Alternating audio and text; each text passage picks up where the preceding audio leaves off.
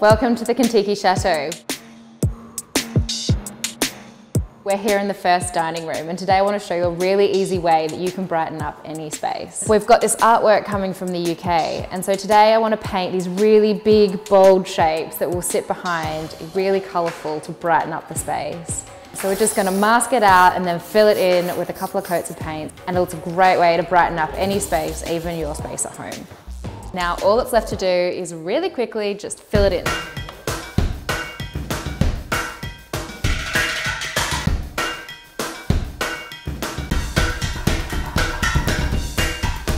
Shaking. Yeah. We've left these overnight and they're now really nice and dry. We're gonna take off the masking tape really carefully and then they'll be ready to hang. So one of the tips that my friend gave me was to pull the tape away at an angle like this and then you get a really nice crisp edge, just like this. Et voila!